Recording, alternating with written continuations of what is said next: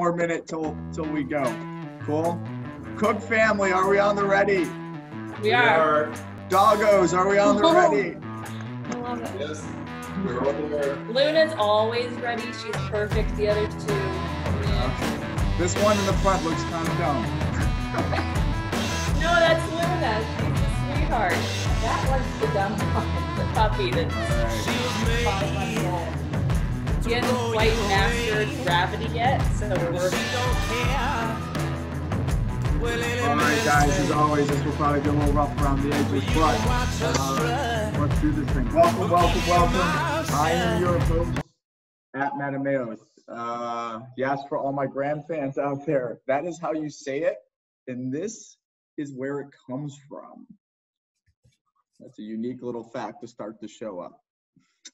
Uh, welcome back. We definitely missed you guys. It's been 14 days. It feels like forever ago. Wait, that's not true. Frankly, it feels like freaking yesterday. Um, as always, today I am joined by Elaine, the last millennial cook, and actually her family, Andrew and Ainsley as well. But sadly, not Kevin Walt Whitman Busso, whose cat mistook his pinky toe for something edible. We are wishing him a speedy recovery and the best as he goes forth in nine-toed and unbalanced life. Today's show features our friends from north of the wall, the wildlings of North America's tundra, of people who live in a country technically larger than the US, but with only 10% of its population, a population of which 90% lives within a two-hour drive of the US border and consumes 95% of the world's maple syrup. Maybe some of that isn't actually true, but this is Moxie Live, where the points don't matter and fake news shouldn't result in anyone consuming Clorox. Before we get started, though, it's always, a quick break for our state of the stuff.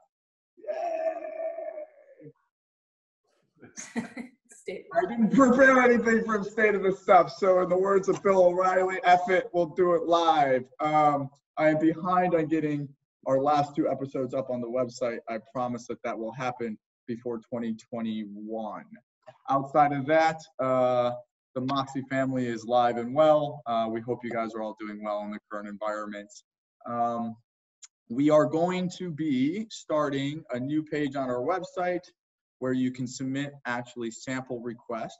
And uh, the goal is for the designers on the call that we can actually ship samples to your apartment already with return labels in cords and plugs. So making the most of the ability to do what you actually need to do, which is look at touch, feel product, not just look at a specification sheet. So look for that to come out. Um, outside of that, next week we are going to be doing a roundtable talk on Moxie Live with some of my designer friends. I'm looking forward to sharing more about that. And that frankly wraps up State of the Stuff. Cool? Uh, so without further ado, I'd like to introduce this crew and uh, actually my co-host who really is my primary host for today, Elaine, take it away. Hey everyone. Um, it's nice to talk to you guys again. We took a break last week, but we're back and ready to go. Um, so today I'm actually in uh, Fort Erie, Ontario, which is which is across the border from Buffalo, New York, um, at Barbican's factory with the CEO and CTO of Barbican, Andrew Cook, um, and Ainsley, who is the CFO. So when you purchase anything from Barbican, she's the one that answers. Um, and we have, of course, the office dogs over here, um, Luna, Lily, and Digger. So if any of your orders have teeth marks in them, they are the reason. Digger eats literally everything. Um, he is only six months old, so he doesn't understand the difference between food and light fixtures. We'll teach him that soon enough. Um, so today I wanted to kick off with a slight intro of Andrew. Andrew has been in the lighting industry for 32 years. They founded Barbican in the back of their house um, with uh, two children at the time strapped to them. Um, and somehow we've managed to keep the whole family together for the past 32 years. So that's been a, a huge plus. Um, now we've expanded to two factories, um, one here and then one three blocks away, uh, which has over 100,000 square feet of uh, production line um, and over 70 staff. So we are able to handle any of your large orders um, because we've done it multiple times before. So today we are going to uh, showcase some of the lighting here and the ceiling system, um, and then we'll break into some of the other products later on. So um, Andrew, without further ado, he's going to introduce what's above us. Okay, thanks, Elaine. Um, what uh, we have developed here is a ceiling system that is fully illuminated from above. Um, and also it allows all your sprinkler heads, HVAC, and all the normal uh, accoutrements that normally are you know protruding through the ceiling system are all now allowed to be above the ceiling system. Uh, the key to it uh, was actually a summer project that Elaine started on when she was in uh, university. It's a 3D uh, printed fiberglass. Uh, we currently have three patents on this product now. And um, it basically is a three dimensional fabric, if you want to call it that. Uh, it's extremely light. It uses just the minimum amount of resin to bond it together. Uh, and the panels are four feet by eight feet and are fully suspending um, on their own. So uh, a very rigid product, um, again, using the absolute minimum of materials uh, to produce a product that uh, does something that uh, no other product can do of its kind. Um, the reason that it works is A, the material itself is a class A uh, flame, has a class A flame spread rating, very, very low smoke generation on it. And also the spacing of the grid is crucial to passing the NFPA code, and that's what allows the sprinklers to go above it. So uh, there are some restrictions in terms of clearance between the sprinklers and the uh, and the mesh itself, but it's fairly uh, it's fairly straightforward um, to uh, to be able to use it.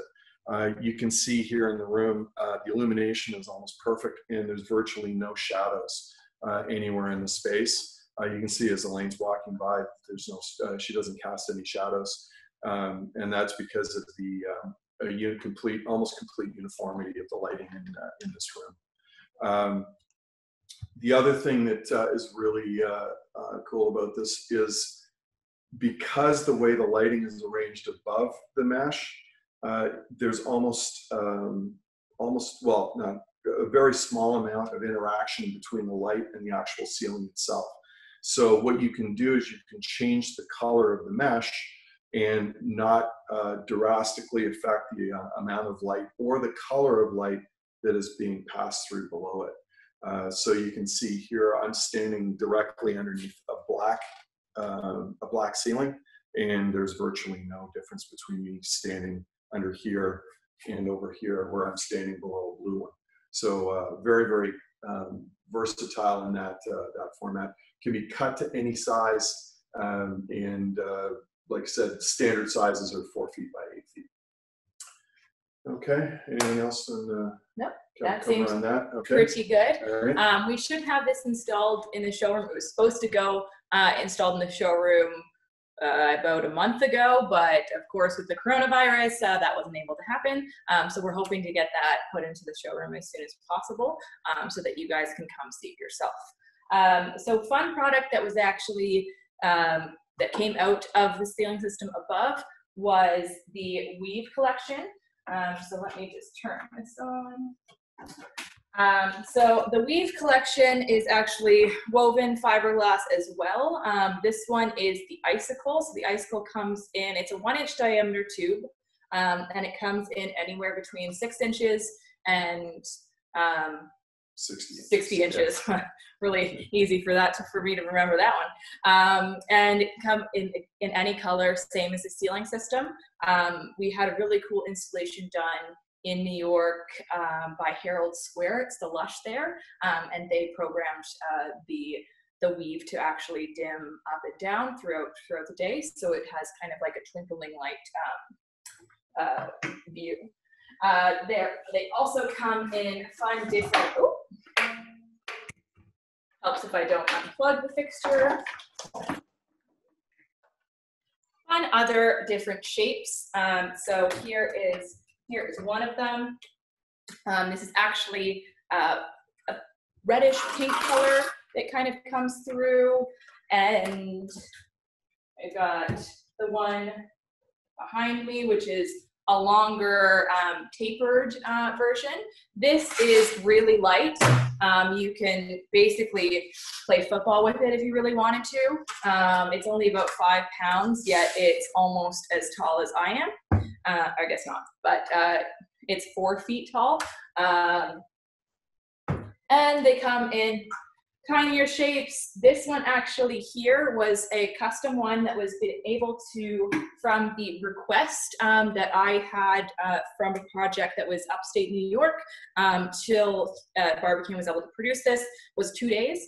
Um, so I sent them uh, the shape that I wanted. I wanted a kind of a Maryland shape and they were able to do it, do the, the custom printing because it's all 3D printed um, in, in two days to get me a sample. So that was wonderful. Uh, very easy, very lightweight, and it's pretty, um, it, it, passes the Elaine test, as we call it. Um, I've managed to draw basically every fixture that Barbican has made, um, and they all seem to, to work perfectly fine after that. So that is the, the weave products. Um, oh, we got a couple of different other samples. This is the Zerna, um, a little baby one. I call them the, the fairy lights because I picture it going into an enchanted forest.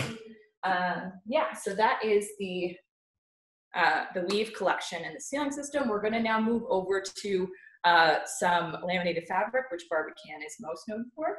Um, so I'm going to pass it off to Andrew to introduce you to um, the laminated fabric and uh, the Metro. So um, the laminated fabric itself, uh, we have always used, um, well, in the last uh, 12 years, we've always used uh, PETG. Uh, PETG is a, a, resin that was designed for disinfecting. So this has uh, become pretty much a staple in most hospital environments because of the fact that it can take just about any of the cleaning chemicals that they use in, in a hospital. So uh, it, uh, unlike acrylics, acrylics tend to um, react to uh, chlorines and alcohols, so they tend to craze and haze over time.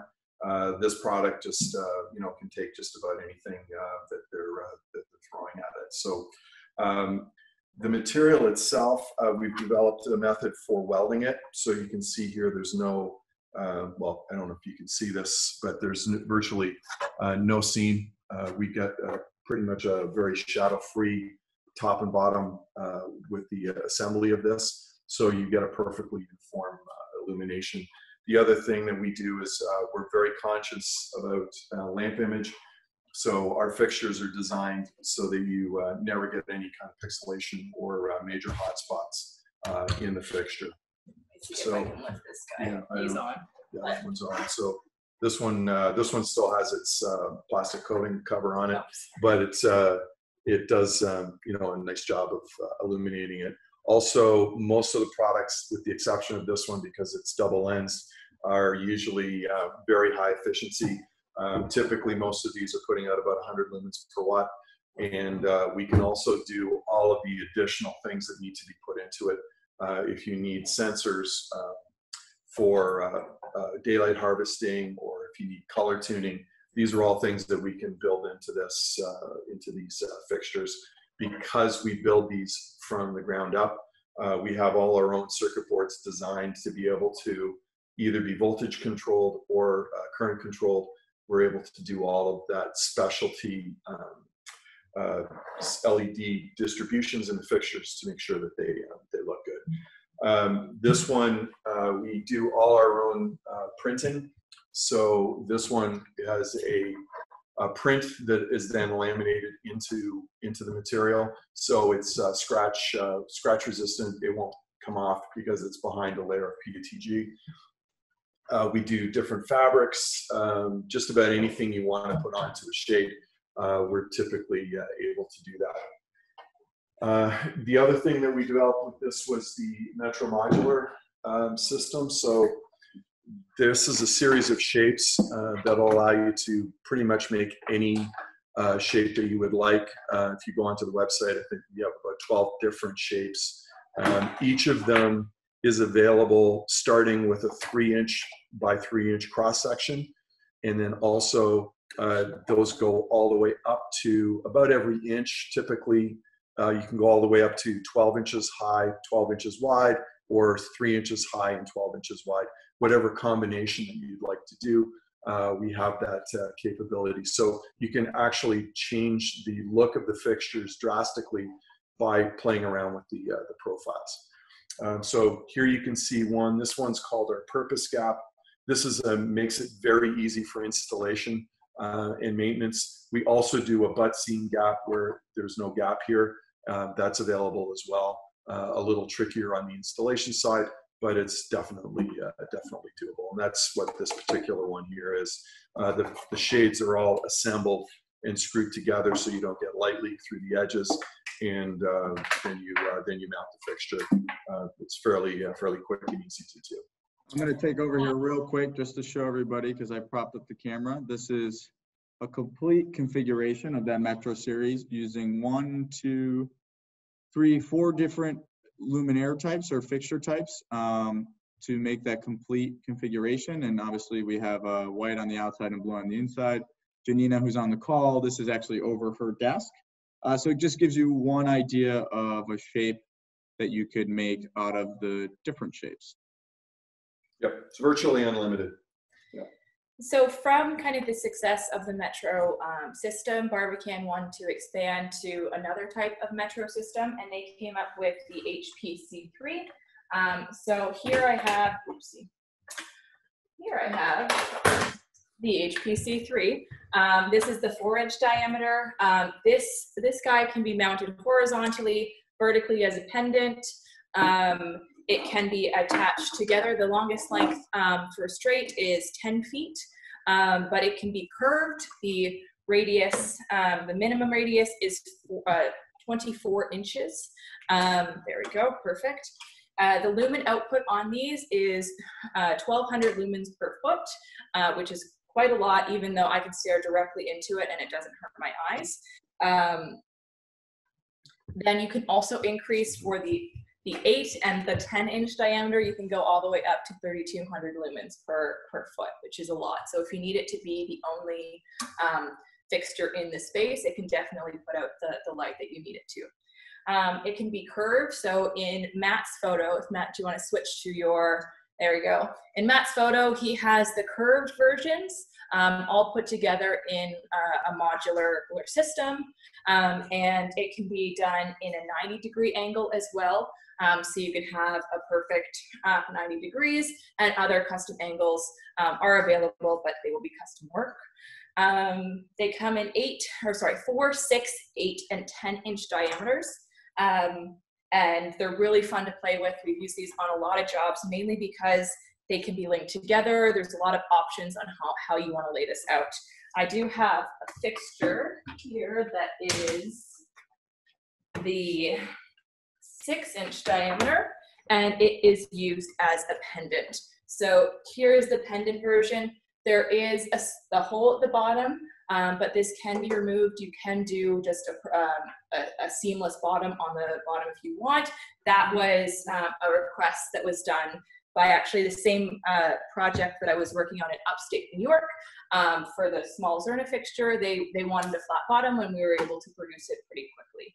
Um, so that is the HPC3. Um, yeah, the other thing about the HPC series is that it illuminates 360 degrees around the around the cylinder. So in a lot of cases, you're able to illuminate a larger area with a single fixture um, without getting that glare that you would typically get off of a slot fixture. So it uh, provides a very soft uh, illumination within the space, um, which is uh, one of the uh, you know key features in uh, why it's been selected for a number of different uh, installations in offices. And actually, we're going to be discussing a custom version of this that we have done for the new headquarters of Google. So we can we can look at that a little later. Cool. Okay, so uh, I just, uh, I just want to add to that. Sorry, host jumping in. Um, it does come in standard singular sections, like Elaine was demonstrating with the four footer, and is actually very price competitive against standard direct and direct slot. Um, but a lot easier to look at, definitely. I can vouch for it because I look at this guy all the time. So cool. And right, actually, Matt, if you keep your your um, your screen like that, on both sides of Matt is the HPC3 with their acoustic um, uh, sleeves over top. Um, so that one's the carambola that we'll be kind of visiting later on in the acoustic section. Um, and HPC3 just slides right in, um, and it's kind of the cornerstone of Barbican's acoustic line. So that is actually it. I'm going to pass it back to you, Matt, um, to go over um, the sponsors for today's episode. While we go and run to the other side of the factory for the next part. Cool. Sounds good. Thanks, guys. Run. You have 37 seconds. You can do it. Um, as always, guys, we'd like to just say thanks, take a little break. Um, I'd like to share our sponsor today. Uh, actually, believe it or not, today we are sponsored by Barbican, a tasty soda malt beverage out of India. Bet you didn't know that existed. Uh, you can get yours the next time you're in the showroom. We'd just like to thank them.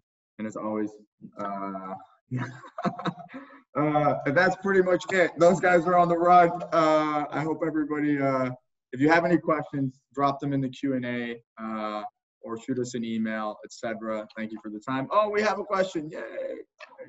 Tell us a joke. Oh, God. Uh, that's a good one. Uh, actually, you know what? Hey, the rhinoceros, why don't you tell us a joke now that you're on? Nope. I don't know any good jokes. Hey, rhinoceros, what do you call a fake noodle? Oh, I don't know. What do you call a fake noodle? An impasta. Ah, ha, ha, ha. Ah, bada bing, bada boom. Guys, that was Walt Whitman, Kevin Busso. Uh, I hope you're doing okay, Sans Toe Bud. Perfect. I think we're Oh, good, because that wasn't awkward. Uh, as you can tell, we've switched rooms and are slightly out of breath, but that's fine. A good sprint in the afternoon really wakes you up. Um, so right now we're going to take a pause on the product overviews and ask some um, personal questions about Andrew and his experience in lighting. Um, so the first question is, what has been your worst experience in lighting? You sure you want to hear this? Yeah. We, I, Okay. I heard I just, I, I had a question come in. I have to, I just have to let the audience know that Oh. yes, Kevin's toe is completely gone. so super important. um, but answer. Um, so this was back 2005. We did lighting for uh, mausoleums and uh, columbariums. Uh, we were producing products for those uh, facilities as well that were not lighting related. Um, I had to go and repair a couple of um, LED boards uh, that were being used uh, in the columbarium section. And as I was working there, um, these little flies kept coming in and landing all over me. And um, I, you know, got my work done and left and was leaving with the contractor. And uh, I said, like, there's so many flies in here. Like, what's, what, what's going on with this? And uh, the contractor goes, oh, those are cadaver flies. And they only live in columbariums and mausoleums uh, because they live on dead bodies. So I um, went to the washroom and cleaned then, then we went to lunch. It was pretty horrible. so that's that's my worst lighting experience. But there you go. It's not that story is not better the second time. I thought I was gonna stop gagging, but no, no, still the Elaine, don't you worry, you'll have yours soon enough. Yeah. yes. Mine mostly involved me getting electrocuted, but that's okay. I, I think I would prefer the Yeah, electrocution that, over that, kind, that kind of goes. That kind of Oh, goes. you saying that now? Yeah, next time you're in the office, we'll we'll test that theory for you. Okay. Um, so the next question is, what has been your best experience in lighting?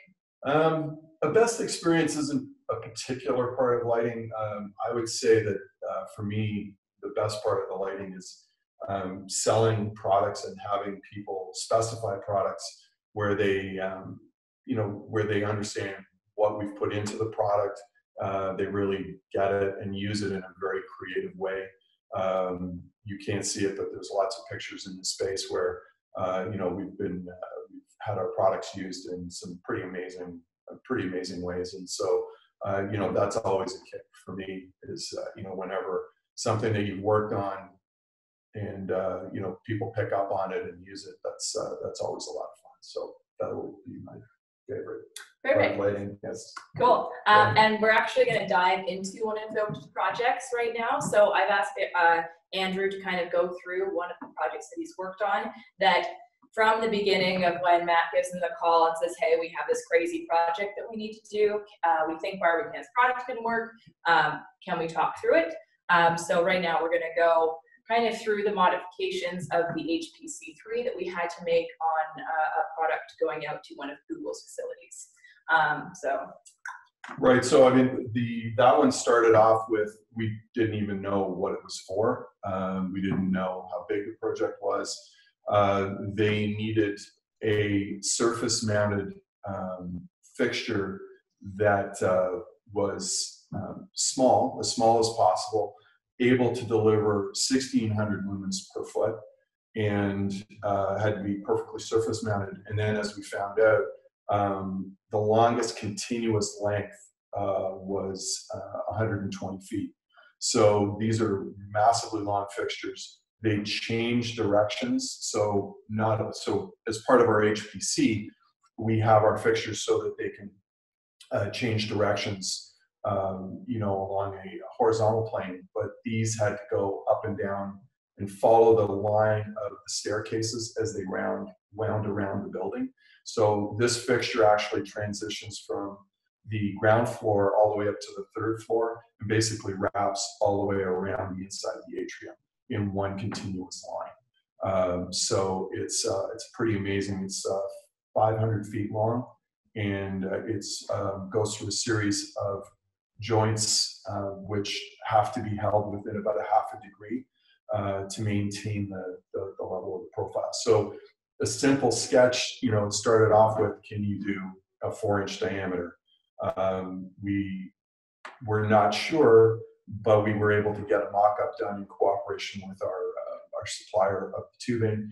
We got a mock-up done very quickly, um, built it for the lighting design firm, and um, then we were able to do some of these other things that they needed. So one was they wanted to have a very minimal joint.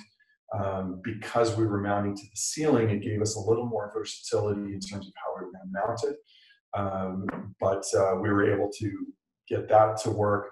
Uh, one of the other questions that was brought up was, uh, you know, what do we do about expansion and contraction over 120 feet? So we designed special clips to be able to hold the um, hold the uh, the joints together. So we have that done. Those were all done in a clear PETG material. They snap in on the top side of the tube, so you don't notice them, and uh, it helps uh, helps to hold the uh, joints together.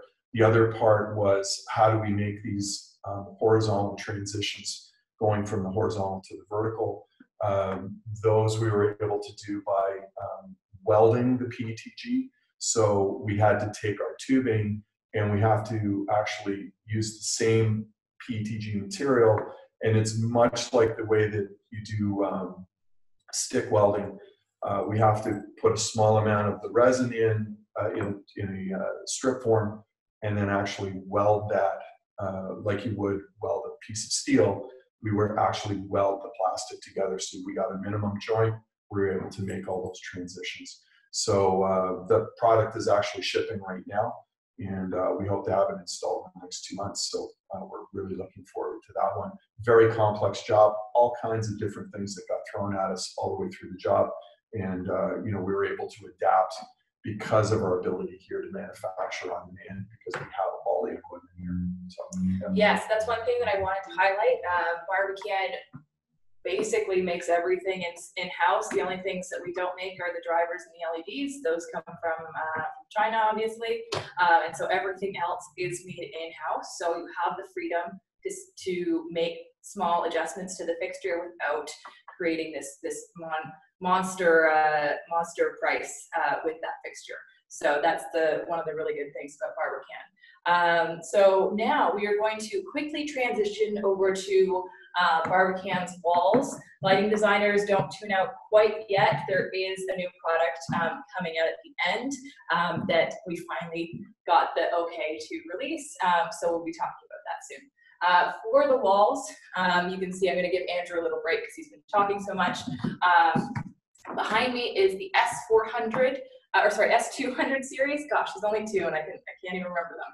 Uh, this is the S200 series. It's the glass walls, as you can tell. Um, they come in different thicknesses, uh, half an inch and three eighths, if I'm not mistaken. Yes. Um, they have sliding glass doors and uh, swing doors. Um, and then if we move over to this side, this is the S400. It is their laminate panel um, wall system. Uh, we just got a new uh, edger uh, as a new equipment a couple of months ago, so now we can make all of the, the panels in-house.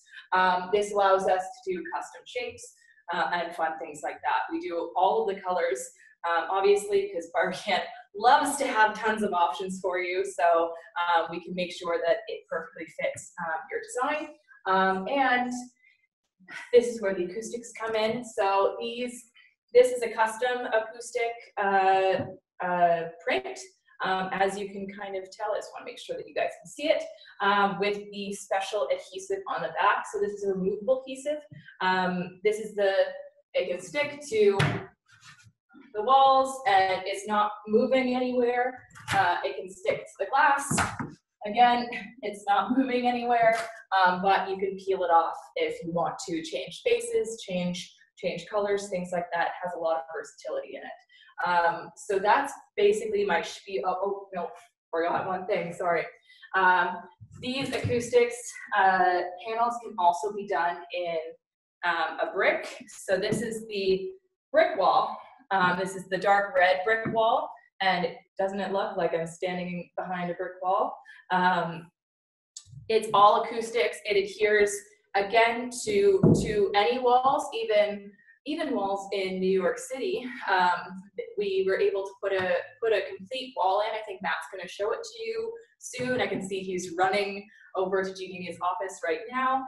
Um, these can stick to basically anything. If you've been in our showroom, we know how kind of lopsided the walls are. Uh, and Andrew was able to install this in two hours, and I was by himself. Matt and I gave him no help whatsoever. We went out for dinner instead, um, and he was able to do that solo. So super easy to install, um, and if you don't want brick, you can have custom artwork done. So this is artwork done on the, the felt. So not only do you get a cool piece of art, but you get also acoustic um, acoustics with it. Sorry, my brain kind of stopped there.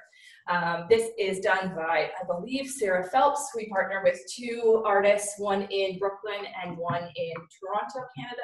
Um, and we partner with them so that we can put their art um, on light fixtures and on uh, walls. And that's one of the things I'd like to emphasize. Um, what Elaine's been showing so far is the acoustics for the walls, but of course, all of that can match onto the lighting fixtures. Uh, so you've got, again, the ability to work with the interior designer, both on the lighting side to uh, provide something that they could be working on with the walls and the other uh, coverings that they're using in the space. You can also do them in different shapes as well. So if you want to just, this one doesn't have the adhesive on it. If you wanted to do just circles or triangles, uh, rectangles, other shapes, I'm kind of blanking on other shapes right now, um, you can do that as well. So that is our spiel about walls and wall acoustics. We're now going to let Andrew introduce you, or sorry, Matt, are you in front of the? Oh, yeah, I can show it real quick. Cool. Boom! So that is a faux, faux wall, uh, or brick wall behind it. It's with out of the gray, uh, gray uh, brick, and uh, you can barely tell it's there. Um, when I walk You past know, it. I know you, I know you missed this space. I'm sorry. Also, you have one sad balloon here hanging off your thing. But yeah, uh, very cool application of the felt and super, super cost effective, um, way to do coverings. Um, so yeah, back to you guys. Cool, yay. Um, so now I'm gonna pass it over to Andrew to go over the new uh, wall system that will also have the lighting designers excited. So Andrew, Okay. take it away. So um, the S400 series uh, is uh, a four-inch deep wall.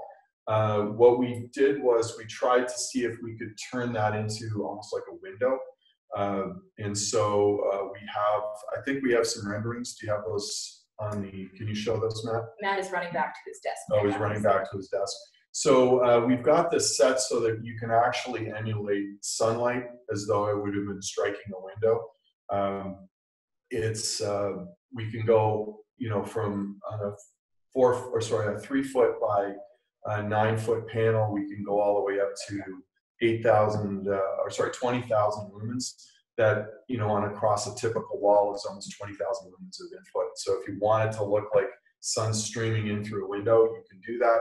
Also, you can then you know dim it down to uh, whatever level you would like. So um, this is the uh, this is the full wall. It can also be done as a uh, what we call a clerestory. So it would just be a small section, say one or two feet uh, at the top of the wall uh, to make that look, and it also all fits within that uh, that wall cavity. So we are able to deliver the wall as a complete unit and fully illuminated. Uh, you can also do color tuning um, as well uh, if you're trying to uh, emulate, um, you know, what the uh, sun is doing outside. Uh, all of that color can be incorporated into this, uh, into this fixture as well. So um, pretty cool. we're pretty excited about it. We think it will actually allow you to do all the lighting in the space just from the walls, like a normal window. Um, so we're really keen to get that installed in, in here. And, and also, as soon as we have it here, it'll be installed in the office. Okay. Awesome, cool, perfect.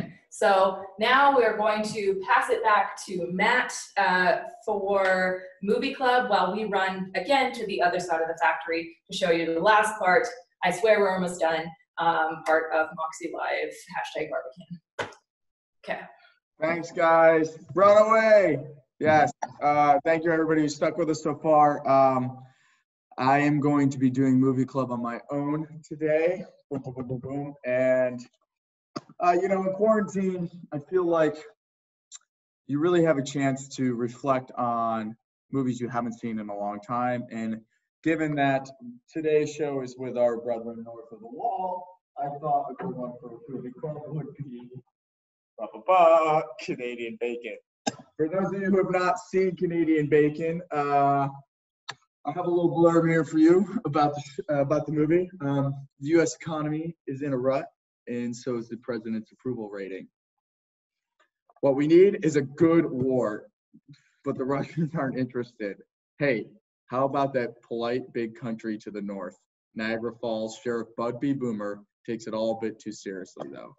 Uh, William F. Powers of uh, the Washington Post says Canadian Bacon. Uh, there are bad Washington movies, uh, and then there are bad Washington movies. But in the history of films about presidents and their policies, few have even approached the pure awfulness of Canadian Bacon. It's a new comedy from Michael Moore, the frolicsome director who won fame with his 1989 comic documentary, Roger and Me, and more recently imposed on the Republic the egregious television show TV Nation. Now he returns to the multiplexes with the first feature film fictional story that's supposed to make us laugh. It doesn't. Pat, Peter Stack of the Chronicle staff critic says Bacon Okay, is shush. understood comedy. Uh, but frankly, I think it's fantastic. I think John Candy's hysterical. I think the Dan Aykroyd cameo, cameo is totally worth it. Uh, and who doesn't look at, like a good movie that makes fun of Canada? And back to you. Cool. Uh, killed it. Hi. uh, so we're back. Um, we are now in Barbican's R&D facility. Um, so this is where all of the fun new products come from. Uh, I am standing beside a giant cigar. Uh, that's what we call this fixture. It is also a woven um, fixture. It's our life size, one of our life size products. It is six feet tall or seven feet tall. Really? Okay. I guess I'm not 5'11. Um, so this one is really light. Even I can kind of lift it up and I'm super weak, so that shows something. And again, it would be fully illuminated all throughout the inside, just as the rest of the weave collection. Um, so I'm going to move this. Yes, that product was uh, designed to go around the HPC fixtures. So that's what goes on the inside of that. I was just gonna say real quick, Elaine, if that's six feet tall, you're having what we call a short day. Often, sometimes people have tall days. Yeah. Often, if you're like me, you have short days. So it's okay. Welcome to the club. I'm finally short. so this one, this is also one of my favorites. This is the Carambola Mini. Um, so this guy is six feet tall. It has the HPC3 in the center of it with the acoustic baffles on the sides. Um, this kind of showcases that we can go um, pretty damn tall um, with all of our, our uh, acoustic fixtures. So they're not just the small ones. We can do do large ones if the, the space allows it in your projects. Again, remember, oops, I attached the light and that was stupid. Elaine, you called that the mini? Yeah, it's the mini. Okay. It's kind of just a word on puns. I mean, it's obviously not the mini one. Um, we like to joke, you know. Um, this one is also felt, so I'm. This is a felt uh, halo sleeve, and you can see it has artwork printed all around um, the sides of it, and you can barely tell where the seam is, which is awesome. Um, and this just slips over any fixture um, that you want. So you could have this artwork put on this giant carambola um, if you wanted it to. So I'm gonna put this back. And, oh, there we go. Cool. Are you gonna change the camera? Yeah, I'm gonna tilt the camera so that you guys can see the products a little bit better. Cool. Okay, so Andrew, do you want to take it away? Sure. All right, so this is our um, 24 inch carambola uh, direct. Uh, this one's based around a six inch. That one over there is around a 10 inch um, HPC. So you can see that uh, the, um, you know, we've got again complete versatility. This one goes all the way down to 12 inches in size, uh, where it's based around a two inch, uh, two inch fixture. So this is one of the, uh, this is one of our drum shades. Uh, this has a uh, curved felt. Our felt is uh, nine millimeters thick, um, fully bent. There's a number of companies that are doing it out of three millimeter felt, but we get a full nine millimeter felt on here. Uh, it was something that we had to develop to be able to get it to uh, to work. You can have it set so that it's this this high. The way I've got it set now, where it's about flush with the bottom. You can have this overhang below the fixture, and you can also, which is a very cool effect, um, have it have it show. Yeah, uh, bring a little bit of the shade down below it if you wanted to use a colored shade, uh, and still have some acoustics in there as well. See that has the shade below. It's also in orange as well, so it's um, it can be changed as well. There's markers on the the inside that all you have to do is take them off and just the the tabs. Um, and then the fixture will stay at that. So super easy, very much can um, play around with this once you're on site of the project um, and can be fine tuned later on. Love me a good push pop. All right. I mean, really, the whole um, the whole thing with this is have fun with it. If you want to create your own size, your own fixture, um, this material, as long as we can cut it out in two dimensions, very easy to uh, to work with. So, you know, please feel free to submit your own designs. We're happy to uh, build anything you want to your uh, to your uh, specs. Uh, here's another one that we've developed. This is actually a, a mini uh, mini model. Um, this was originally designed actually to be a freestanding uh, fixture that would go around a desk to provide an acoustic uh, an acoustic barrier, but still allow uh, ventilation and uh, also a certain amount of viewing into the space. So, um, you know, we we play around with a lot of different things here.